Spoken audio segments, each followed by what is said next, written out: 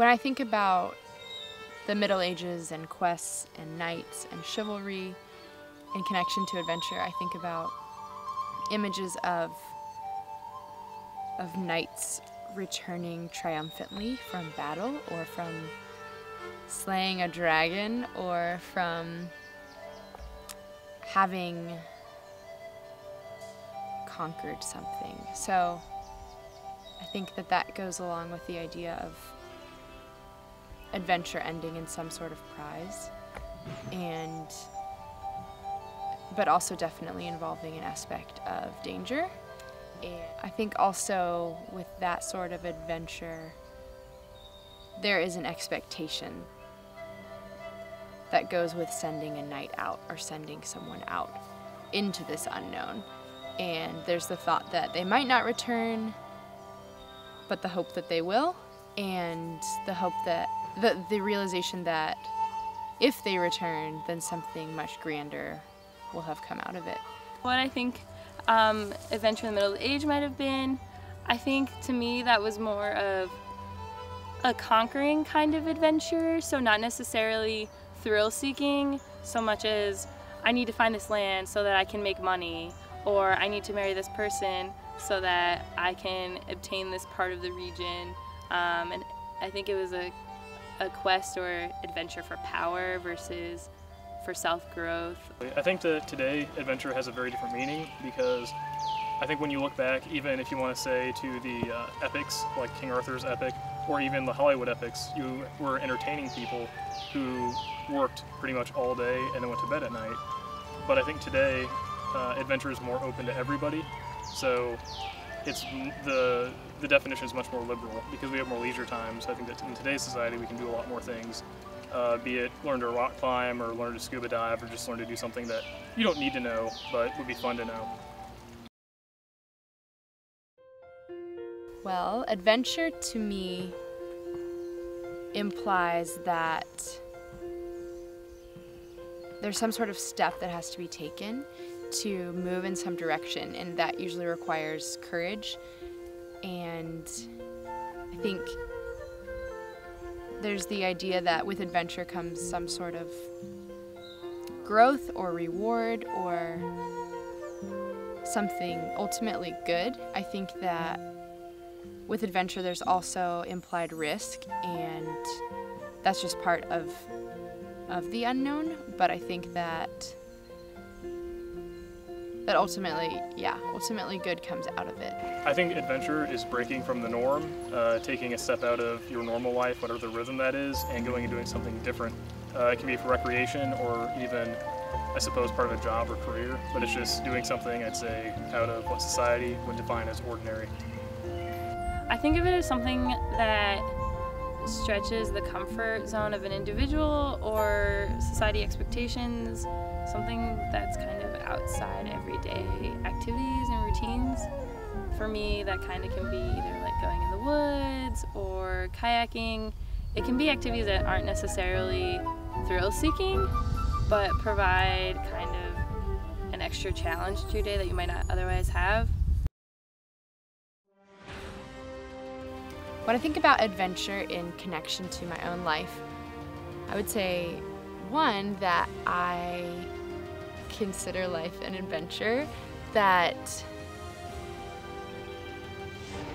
that there's a thrill in the fact that we don't know what's going to happen and even if we try to plan it out, we can't plan it out. Individually, we're all going out on our own and finding things that are new to us that push us in directions that we didn't think we could be pushed. So adventure doesn't have to be expensive. I mean, that's one thing I think people think is they think that well, to go and have an adventure, I have to have to buy uh, an $800 plane ticket and do whatever. In my opinion, if you grab a tarp and drive down to Hoosier National Forest and spend a night out under the stars, I really think that's more of an adventure than going to the Caribbean and staying in a walled enclosure for rich people for a week. So I don't think that cost is a really big factor. It's just what you want to do and taking advantage of your surroundings. Because um, some people spend their whole lives saying, oh, well, if I could go over there and do that, that'd be awesome because I could have all these adventures. But they don't ever look around them and take advantage of what's actually in front of them. So Megan and I took a wilderness survival class and as part of this class, we learned to make fire, we carved our own spoons, we learned how to trap animals and how to skin squirrels, all kinds of great stuff. And as a part of this, for me, one of the things that was most adventure filled, I would say, was the fact that at night we had to get back to our sleeping area, our shelters, and so we had to walk, would you say? A um, mile to two miles ish without any other tools or we can't use compasses, we can't, there wasn't any maps really, it was kind of following the trail in the dark. We were given, we were provided a whistle on the first night in case we were lost.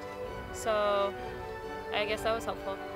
On the final day that we were in the woods, we did a blindfolded string walk, which basically involves having a tiny cord coursed throughout the woods for like a mile or two, goes under branches, around trees.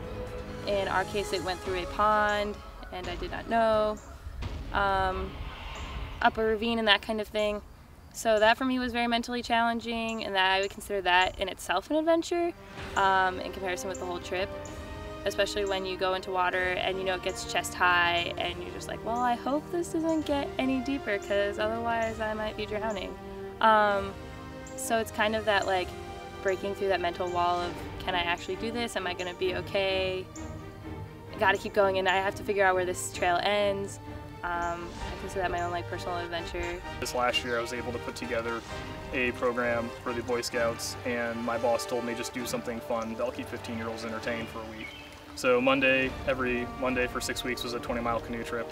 Every Tuesday we built a trebuchet, and I don't mean like a model trebuchet, I mean the arm was like 30 feet long on it. Um, Wednesday we did land nav races. Thursday we went to Michigan and went mountain biking. And once we got back early from mountain biking, so we took the sailboats out on the lake and went sailing Thursday afternoon. Um, so that was definitely adventure, not just because of the activities I was doing, but being able to lead a group of youth, uh, that was definitely a really cool experience. I was in the in Glacier National Park and I decided to venture ahead of my family and I wandered up knowing that there was a risk of bears being around and so I would need to make lots of noise and so I was making lots of noise wandering ahead running down the trail and I came across this mountain goat and so I just stopped and um, and he walked up to me and then he just sat down. And so I sat down too. and I, yeah, I didn't really, I knew that there was this kind of this threat involved with the fact that he has these horns and he's a wild animal and he could attack me. Um, but there was also a thrill that came with that. And so I decided just to be really quiet and I sat down with him and started talking to him and asking him what he had seen, and then he burped. So that was. not really sure where the story's going. I've given the opportunity to go skydiving, which was a very um, short, not well thought out decision that I made to go, um, but it was definitely one of the best decisions I ever made. Um, I think the hardest part was actually going and realizing I'm in a chute and I'm jumping out of a plane. We were kind of in the air, getting to like 10,000 feet in the air, and then they start unloading people, uh, which you don't really have time to turn around because you're moving so quickly and the people need to be unloaded before you get too far away from your drop zone. And once I got out, I realized I couldn't breathe.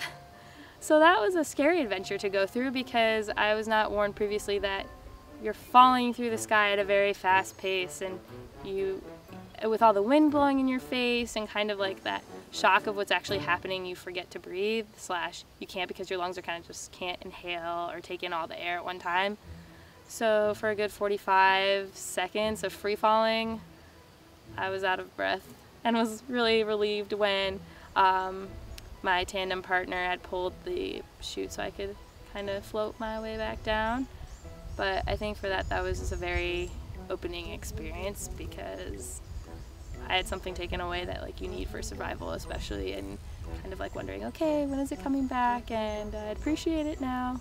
just working with people that um, you might not be 110% comfortable with, maybe being an age group or a different social background, or um, I'll dare say, you know, some people are uncomfortable around different ethnic backgrounds, but it's just a matter of getting to know people. That can be a big concept of adventure, as opposed to the uh, Hollywood idea of you have to go places and you know see things kind of adventure.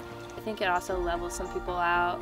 I think sometimes we get caught up in this whole bubble of I've got school and I have homework and I've got I don't know volunteer. I don't know what people do on a daily basis, but kind of people get stuck in that and so like going on these mini adventures or going in these kind of out of the ordinary adventures gets you just to like broaden your perspective and realize like kind of put you back and realize like how much everything on the world affects you and like your environment.